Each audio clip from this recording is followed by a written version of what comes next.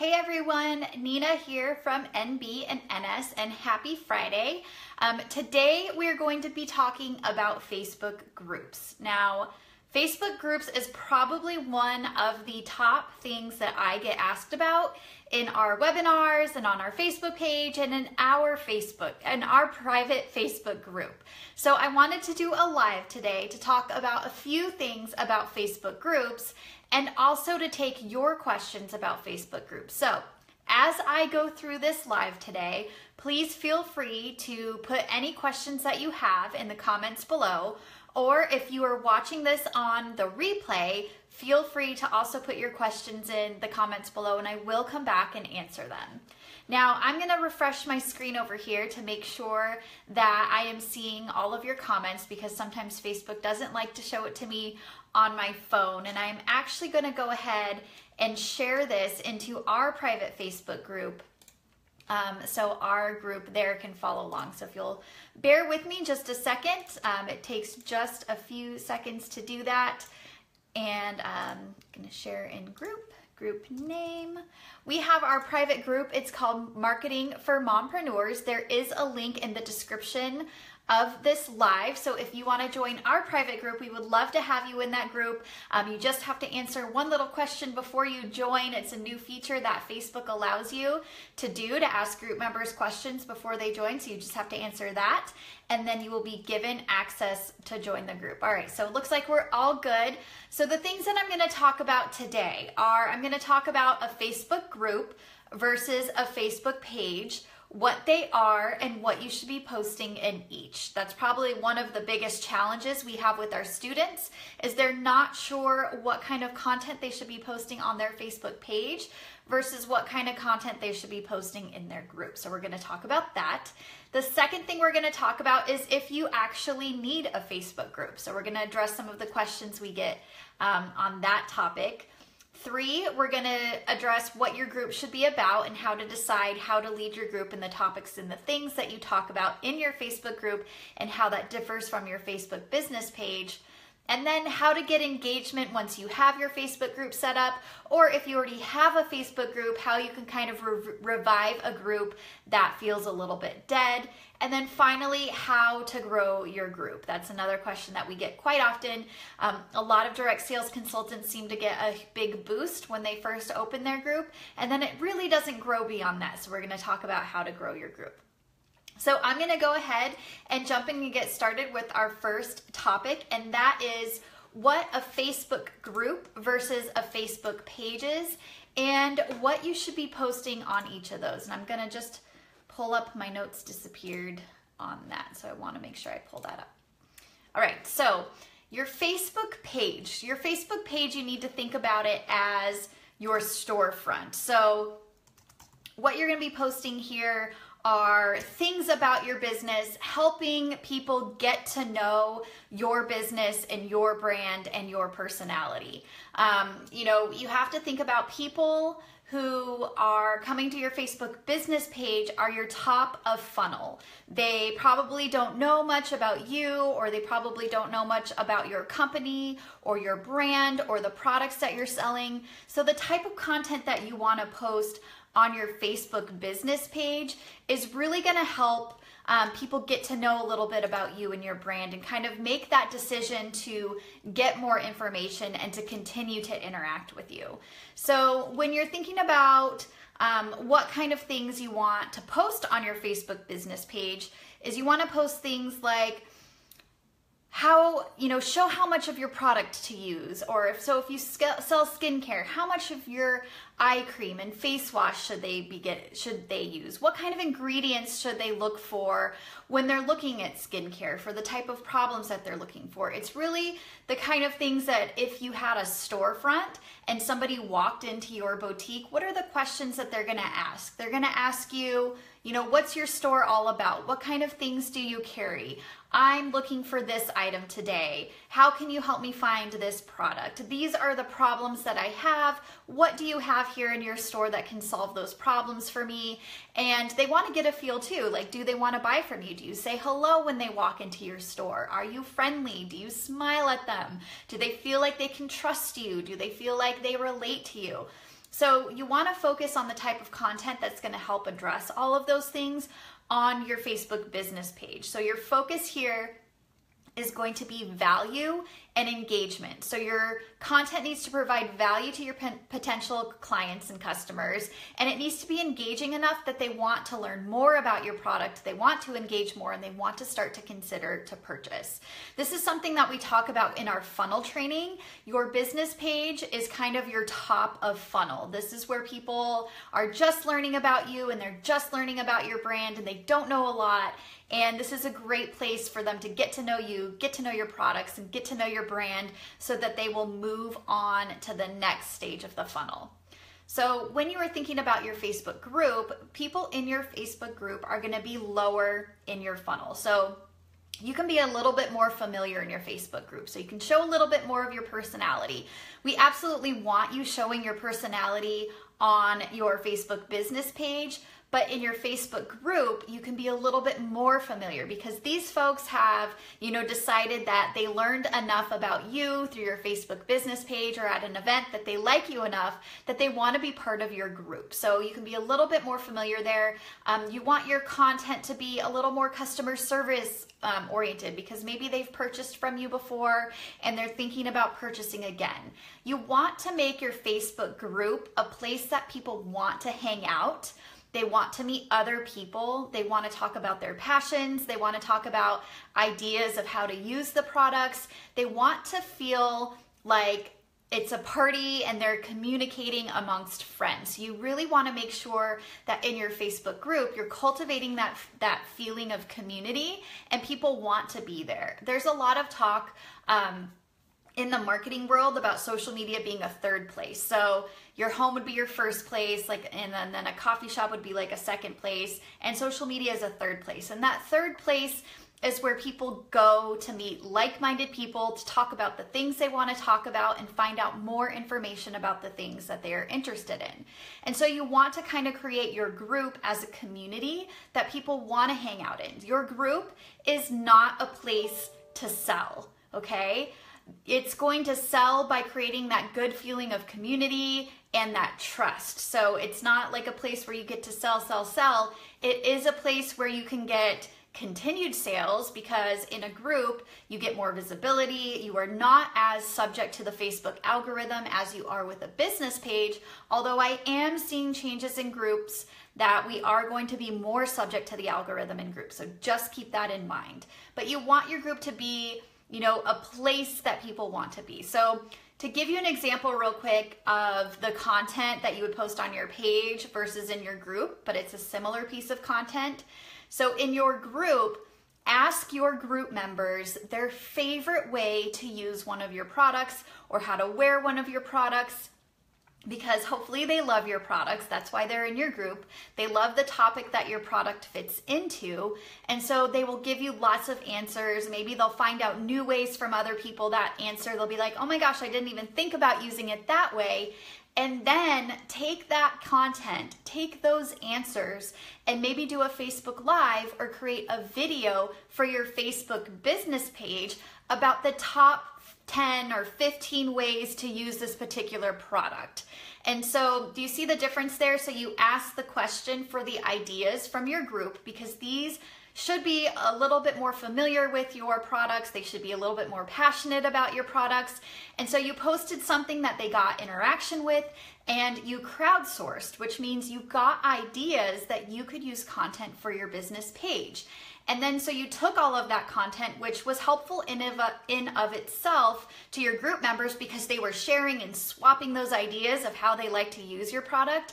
And then you packaged it together for your business page to just tell people the top 10 most popular ways to use your product. So I hope you see kind of the difference there. It's the same type of content, but it's a little bit different um, for each of those platforms. So just an idea to think about.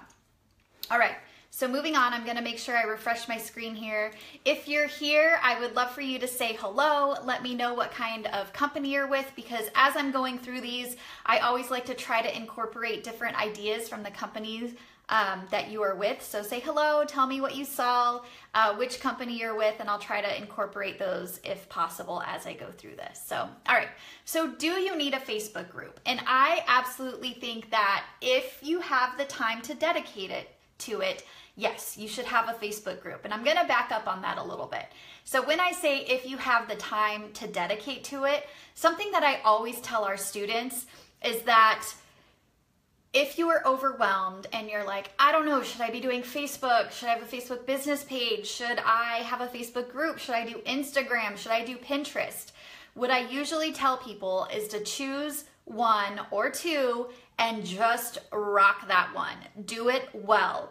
Like just pick that one and dedicate to dedicate it dedicate yourself to it and do it as well as possible. Because if you spread yourself too thin and then you're kind of just dipping your toes in each of those, you're really not going to see the results that you want to see because you're not truly dedicated to it. And I know that social media can be really overwhelming when you're first starting out. So pick one thing, really dive into it, do it well, and then move on to the next thing, okay? So don't have a Facebook page and a Facebook group and an Instagram account and a Pinterest account and a blog if you truly don't think you can handle all of those things.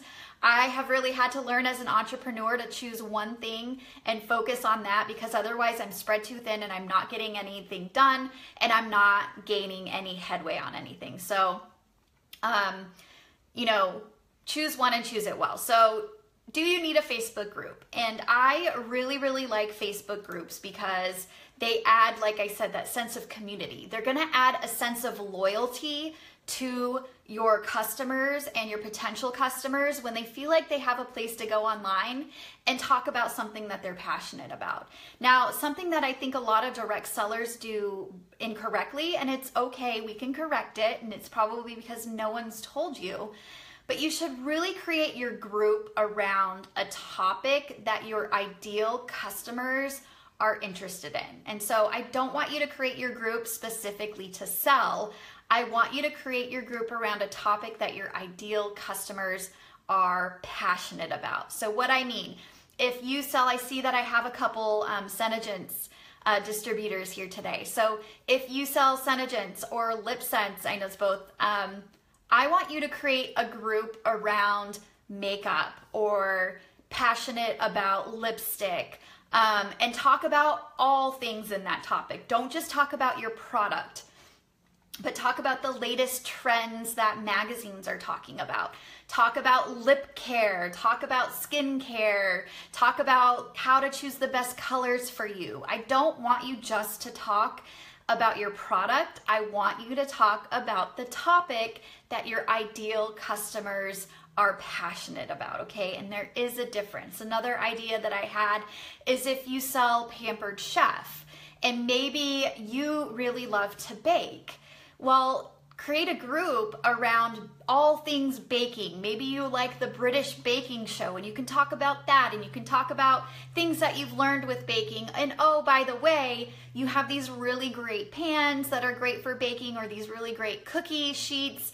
All of these different things that you can incorporate and talk about your products, but your group is not focused on selling. It is not focused on your product. It's focused on the topic that your ideal customers are passionate about and how you can help them with that and how you can facilitate that conversation. For example, we have a private group called Marketing for Mompreneurs. And in that group, we like to talk about um, social media in general and marketing your business in general and the challenges that come with being a mompreneur. We I don't talk very often about the products that I sell in that group. If somebody asks a question and I think one of my products can answer that problem, then yeah, I absolutely talk about it. But that group is there to support each other, to bounce ideas off of each other, and solve the problems that we have as mompreneurs. Okay, so it's not focused on selling, it's focused on the topic that my ideal customer needs help with. So that's the difference. So Do you need a Facebook group? If you have the time for it, I think it's a great way to create loyalty, to create repeat sales, and to create that feeling of community. And it's also a great place, like I said, to crowdsource. So, for instance, we have a new webinar coming out in a few weeks all about Facebook parties. And so I crowdsourced the topic name for that webinar. And crowdsourcing means getting the opinion of the crowd. And so I posted about four or five different ideas that I had about how to title that webinar and got feedback from my group members. And I chose the winner of that. Um, what they voted on through the polls, and that's the name of the webinar. And so they helped me. Um, you know, we offer a lot of help in there, so we exchange a lot of ideas. All right, so number three, what should your group be about? And I kind of just kind of t- uh, touched on this um, in the last topic, which it should be about what your ideal customer is passionate about. It should um, involve, you know, what your product is about, but it should be about what your what your people are passionate about. And I'm sorry, I see a question um, from Whitney. And should you allow others to sell promote in your group? I don't. I have a very specific rule in my group that you cannot sell. Um, it is my group, I host it, so I do talk about my products, but I don't allow other people to sell um, in my group. I know that's pretty much the um, the norm for most groups is that you don't allow other people to sell. Now, a special case may be that maybe um, I see that you sell Beauty Counter, Whitney. So maybe there's another company or another product that you want to invite in and have another consultant come in and talk about their product um, as like a special event or something. I could see you doing something that way. Um, but I usually don't allow other people to come in and promote and sell. It is in my guidelines. You can create guidelines for your group. Um, and I actually have a um, question that people have to ask before they join the group when they uh, before they join they have to promise that they won't promote because i want it to be a helpful atmosphere. I don't want it to be a spammy salesy promotional atmosphere. So that's kind of my take on that. Um, you know it really depends what you want your group to be about and what your group members are open to. Uh, so just keep that in mind. But usually that's my rule is i don't allow other people to promote and sell in my group you're welcome. Okay, I'm glad I could answer your question. Um, and as I go through this, like I said, if you guys have questions, please ask. I'm sure other people, Whitney had that same question, so thank you for asking that.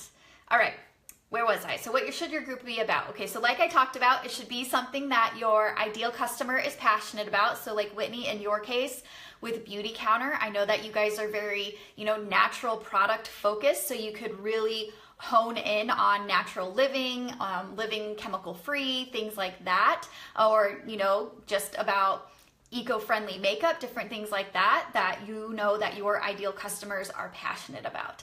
Now, what you want to make sure is make sure that all of the content that you post in your group is useful, it's valuable, it's engaging, it's not salesy, it's not spammy. It gives your ideal customers a reason to come back and want to engage in your group. So just keep that in mind. So now that you have your Facebook group, now that you've chosen your topic, how do you get engagement? And I know a lot of folks um, come to me and they're like, I built my group the wrong way. I have a ton of members. I'm not getting any engagement. How can I revive engagement in my group? So this will help you if that's the case as well. So, first of all, and I say this with everything that we teach, but you really need to hone in on your ideal client. You need to know her. You need to know what drives her to buy a product like yours. What other products does she buy like yours? Where does she shop? How does she get information? Who does she trust for information? How old is she? Where does she live? Does she work? What kind of car does she drive? There are so many things that you can figure out about an ideal client. And something that I suggest because I know that you all can't afford to hire a research company um, to tell you who your ideal client is, but go out and look at companies similar to yours. Now, Whitney, I'll come back to Beauty Counter because I actually helped a student of ours with this. Is that she knew that people who buy Beauty Counter tend to um, buy products at Whole Foods. And then she also knew that you know, Chanel would be a higher end item that maybe they'd be interested in, maybe not because Chanel's not a clean company, Um, so I kind of directed her to looking at other clean, um, higher end cosmetic companies. And there's companies like Jane Iredale, I don't think I ever say that right, um, and Ilia, and there's a couple other brands I can't think of right now. But go and look at those brands similar to you because they spend millions of dollars figuring out who their ideal client is. And if you can find a brand that's similar, go in and look at what they're posting on social media. Look at their ads, look at their website. If they have a blog, read their blog. And you can somewhat read between the lines and figure out who they're trying to appeal to. Are they trying to appeal to career women? Are they trying to appeal to moms? Um, you know, are they trying to appeal to stay at home moms? You can kind of tell through the content that your competitors are using to help you define your ideal client a little bit. The other way that you can find your ideal client is ask your best customers some questions. Say, hey, you know, how did you hear about me in the first place? You know, what are some of the struggles that my product helped you solve? Um, what was your thought process before you bought my product? What other products like mine did you do you buy? Why did you decide to buy mine instead of that? Where do you grocery shop? What are your favorite books? What shows do you watch on TV? What's your favorite movie? Do you have kids? You can ask them all of these questions to help you get a better picture of who your ideal client is. And when you have your ideal client in your group, they're going to be passionate about your product, they're going to be excited to be in your group, and they're going to interact. And so that's going to help your engagement. You don't want people who aren't interested in your product. Not everyone's going to like us, and not everyone's going to want to buy from us. And that's okay, and you have to be okay with that. It's fine. You want your ideal client. You don't want to waste time with somebody that's way too hard to convince because they're just not really interested. The, and that goes along with having the right people in your group. So you want to have the right people in your group, and that will help your engagement. The next thing is you need to spend about 15 to 20 minutes a day in your group. Now, the great thing is Facebook just launched the ability to schedule your posts in your group. Now, not everyone has it yet. They are rolling it out. I finally just got it, and you should know that I like literally, like, I'm not joking, I like jumped up and down and screamed when I got the ability to schedule in groups because I could go on a tangent on this. I don't like schedulers. Um, I like to use the native scheduler. So Facebook released the native scheduler for Facebook groups, and I'm so excited for it. But spend 15 to 20 minutes a day additionally in your group. So go in, look at what the conversations are happening, answer questions, interact, you know, spend a little bit of time building that community. Now, you want to be build your community by being a good host, giving them a reason to check in every day. You know, maybe every Monday you post like a motivational, um, like not necessarily a motivational quote because a lot of people do those now, but something that can kind of motivate them for the week or give them something to think about for the week. Or they know every Tuesday you do a really awesome tip. So give them a reason to come back, give them a reason to be excited to come hang out in that third place, which is your group. Um, provide value, whether it's giving them exclusive deals or, um, you know, teaching them how to use something, you know, really give them value. Maybe even do a Facebook Live where they can ask their most que- pressing questions about something and you're the expert. Maybe um, you could, if you know it's wedding season, you could do a Facebook Live and show them how to do wedding makeup or something like that. So, um, kind of give them value, give them a reason to come back, keep that engagement going. Um, ask questions. Questions work great, and it works bo- great both ways because you can kind of garner a little bit more information about your ideal client. I get a lot of ideas for my blog posts and my um, my social posts on my business page from my Facebook group. It's from the questions that they ask, or maybe I'm like kicking around an idea, so I'll ask them a question. Um, and it really garners a lot of great conversation to give me ideas elsewhere. And then, you know, they feel heard because I create content around a problem that they actually asked me about. And I'm like, hey, that's a great blog post. I'm going to write about it and then I'm going to do a Facebook Live about it. So come on over and join us. So there's a lot of great things that you can do by asking questions. And I really love in Facebook groups, you have the access to the polls function. So you can create a poll where you ask a question and then you give a couple. Um, options for them to choose from and I always get really great interaction from those. So try a poll, they're really fun. Um, be consistent. So make sure that, you know, go in there every day or at least every other day so that they see that you're there, you see that you're present, and it'll also kind of keep people from spamming.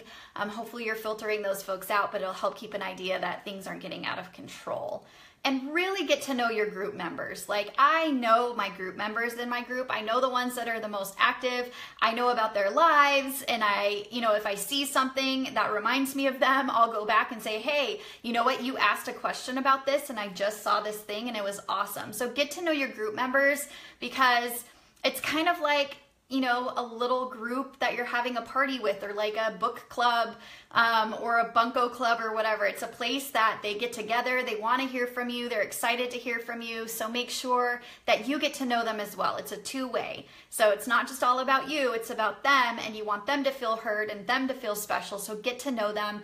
And it'll also help that maybe if there's you know someone in your group that has an expertise in something else or maybe you help them solve a problem you could say hey you know what? Monique asked me this question last week and i gave her this solution. Hey monique do you think you could tell laura um, how that worked for you or how it went? You can kind of make connections there so people feel like they have a community in your group and then the last thing that we're going to talk about is how to grow your group. So, the first thing that you want to do is you want to make sure that you invite your customers and you invite anyone who you have a good touch point with at any touch point. So, if you're at an event, and someone comes to your table and they're asking a lot of questions about your product and maybe they don't buy and that's okay. You could say hey i have this group and you know maybe she was asking you questions that she really loves to cook vegetables and you're a pampered chef person. And you could say hey i have a private group and we all love you know exchanging all of our best um, veggie side recipes. There's a lot of ideas in there. I would love to have you in that group. Come and join us. Give her the link. You know we're all caring. i just looked for my phone. I'm talking to it you know, we um, all are carrying our phones at all times. You could say, hey, pull up Facebook real quick and I'll show you how to find it. Um, if you send out an email, you know, put it in the signature, join my Facebook group called this and drive people. So every touch point that you have, you want to remind people that you have a group and ask them to join you in that group. Um, the next thing is you want to um, use Facebook ads. Now, you cannot use Facebook ads um, out of your group account. You have to have a Facebook business page and a Facebook business um, ad account in order to run ads. But you can create an ad that, you know, we created an ad for our Marketing for Mompreneurs group that said, join um, our group of like minded direct sellers who like to exchange marketing ideas or something along that. And then I included a link to the group. So you can include a link to your group through an ad that you run through your Facebook business page. Um, you can cross promote. So post on your Facebook, like I cross promoted today, that I'm doing a Facebook Live on my Facebook business page, but I put a link to our private Facebook group, Marketing for Mompreneurs, in the description of this video. I actually I also promote the group on Instagram from time to time, or if I do Instagram stories, I will mention it as well, or I'll say, "Hey, for instance, last week in our private group, Marketing for Mompreneurs, we brainstormed ideas for content for all sorts of different kind of direct sales companies. Come on over and join and you will see all these great content ideas. So you can cross promote in other places for people to come join your group. So maybe somebody follows you on Instagram, they didn't know you had a private group and you can shoot them on over to that. Um, create exclusive deals and content. So like I just said, I did not do the content ideas for the different companies on any of my other platforms. I didn't send an email out about it. Um, the only place that you can find it is in our Marketing for Mom- Mompreneurs group. So that is exclusive content to the group. So it gives people a reason to come and join the group. Um, and then just creating consistent and valuable content. You know, that's something that I talk about uh, for your Facebook business page. A lot of our philosophy um, for how you create content for your Facebook business page is going to be the same for your Facebook group. It's just kind of um, a little bit of a different audience and a little bit of a different kind of content, but the philosophy is the same. We actually have a Facebook course called um, The Facebook Formula for Direct Sales Success. And a lot of my students will ask, hey, you know, this is really great for my business page, but everything you teach in here, can I use it for my Facebook group? And my answer is absolutely, because we teach the exact steps and strategies on how to grow your business on Facebook, and the same things apply to your Facebook group. So, um, a lot of the strategies and techniques are things that resonate with both um, sticking to an 80 20 promotional um, content versus helpful content. So, you want to do 80% helpful and valuable content, and then only 20% promotional content because let's face it, we don't want to be sold to all the time. I am much more likely to buy from you if I feel like you're going to be helpful. Um, you've given me lots of valuable tips and I know how to be a better consumer of your product and I know how to use your product than if you're just constantly saying, hey, buy, buy, I have an awesome deal, buy. Um, I want helpful, valuable content instead of just promotional content. So, a lot of what we teach works across both. So, that's what I had today for Facebook groups. If you guys have any questions, um, please let me know in the comments. If you found this live helpful, please give us a thumbs up, give us a heart, share it with your team, um, share it with other people you know in direct sales. We would love to have you guys all over here so we can help you grow your direct sales businesses. Like I said, there's a, a link to our private group, Marketing for Mompreneurs in the description of this um, Facebook Live. So you can click on there. You just have to answer one quick question and then you can join our private group. We do a lot of fun um, stuff in there. It's a really great group of women um, that are very supportive of each other. I really love the group. Um, and then we do have a free webinar happening right now that's all about Facebook marketing. Like I said, what we teach for Facebook marketing works for both your business page and your Facebook group. So Make sure to check out all of those resources. Again, thank you guys so much for joining us today. If you are watching this on the replay, um, feel free to ask questions. I do come back and check the questions and we'll answer you. I will get back to you. Um, I want to be here for you. I want to help you guys. So please let us know how we can help you grow your business through Facebook. Thank you for joining us, and I hope you have an amazing weekend. Happy Friday, everyone. Bye.